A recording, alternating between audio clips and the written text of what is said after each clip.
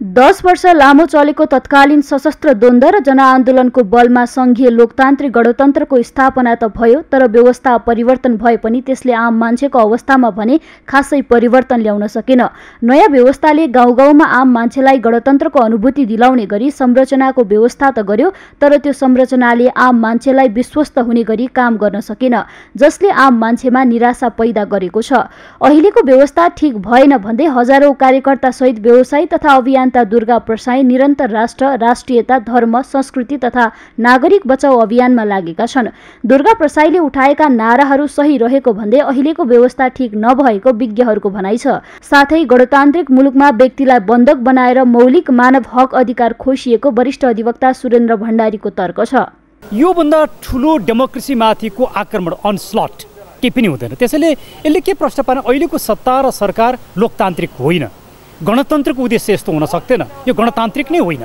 यो चरम भ्रष्ट र मुलुक विरोधी र नागरिक विरोधी व्यवस्था हो भनेर यसले देखायो। दोस्रो आज दुर्गा प्रसाईलाई होम एरेस्टमा राखिएको छ। यो भनेको चाहिँ पञ्चायतभन्दा पनि नृशंस देखियो।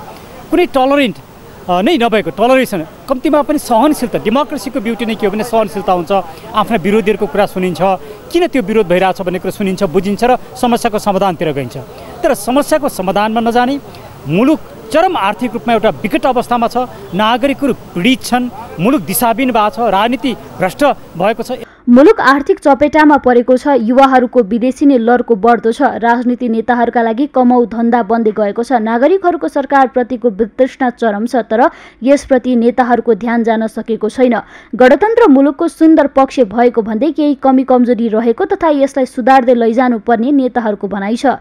साथै राज सहितको हिन्दू राज्यको माग सामन्तवादको पुनर्स्थापना भएकाले अहिलेको युगमा यो असम्भव रहेको उनीहरूको बुझाइ छ। व्यवस्थाको विकल्पमा चाहिँ तपाईँको चाहिँ जसरी फेरि राजतन्त्रको पुनर्स्थापनाको कुरा हिन्दू धार्मिक राज्यको पुनर्स्थापनाको कुरा जसरी उठाइरहेको छ त्यो भने असम्भव विषय हो भन्ने लाग्छ। किन त भन्दाखेरि राजतन्त्र भनेर भनेको सामन्तवादको प्रतीक हो। सामन्तवाद भनेर भनेको मध्ययुगीन प्रणाली हो।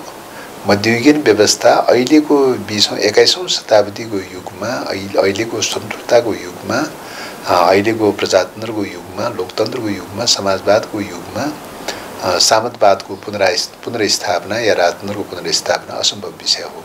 डेढ दशक अघि देशमा गणतन्त्रले मात्र आम मानिसका हक अधिकार सुनिश्चित हुने र यसले आम मान्छेको अवस्था समेत सुधार गर्ने भन्दै व्यवस्था परिवर्तन गरियो। तर अहिले गणतन्त्रमा समेत व्यवस्थाको प्रतिफल केही नेता तथा त्यसको आसेपासेले मात्र पाएको भन्दै धेरै राजाहरू रहेको आम मानिसको विश्लेषण हुने गरेको छ। अहिले केही मानिसहरू यो व्यवस्थाभन्दा राजतन्त्र नै ठिक भन्दै व्यवस्था फर्काउन लागि परेका छन्। यद्यपि न्वारनदेखिको बल लगाएर दुई चार हजार मान्छे भेला गर्दैमा राज संस्था नफर्किने नेताहरूको भनाइ छ। समस्या अहिलेको व्यवस्थाप्रति नभई व्यवस्थापनप्रति भएको भन्दै राजनीति गर्ने पात्रहरू सचिनुपर्ने नेताहरूको भनाइ छ। देशी विदेशी सम्पूर्ण प्रतिक्रियावादी पुनरुत्थानवादी शक्तिहरू मिलेर न्वारानदेखिको बल लगाएर दुई चार हजार मान्छेहरू जम्मा गर्दैमा विभिन्न आश त्रास देखाएर चाहिँ प्रलोभनमा पारेर सडकमा उफ्रँदैमा राजतन्त्र फर्कन्छ भन्नु मेरो चाहिँ तिस सालमा हजुरबा बित्नुभयो थियो उहाँ हजुरबा पनि बिउतेर आउनुहुन्छ भन्ने मात्र हो। अहिले जुन खालका आक्रोशहरू आएका छन् यो व्यवस्थामाथि भन्दा पनि राज्य सञ्चालन गर्ने नेतृत्व गर्ने पात्र र पार्टीहरूप्रतिको जनताको आक्रोश हो र यसलाई चाहिँ लेसनको लिए रूपमा लिएर मूल राज धारका राजनैतिक पार्टीहरू अगाडि बढ्नुपर्छ मुलुकमा अहिले सुशासन स्थिर सरकार र जनतालाई राहतको खाँचो छ। व्यवस्था जुनसुकै भए पनि जनताको समस्या जिउका त्यू भएपछि व्यवस्था फेरबदलको कुनै औचित्य रहँदैन।